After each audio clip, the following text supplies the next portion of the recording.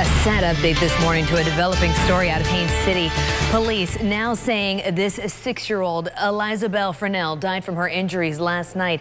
She's just one of three victims shot and killed at an apartment complex. That suspect still remains at large this morning.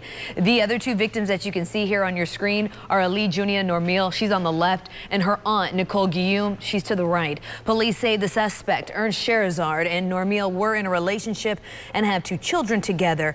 Eliza Bell is not Scherazard's daughter.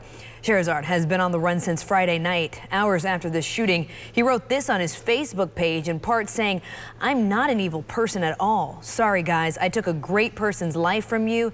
Now it's time for me to pay for what I've done.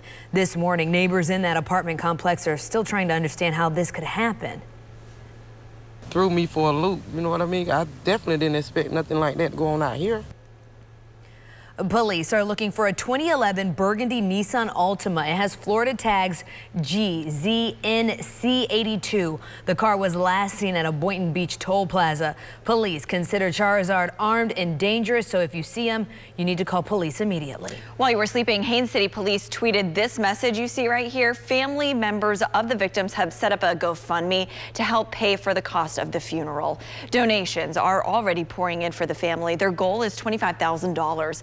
Family members posted that all the funds will go towards Normil's twins. This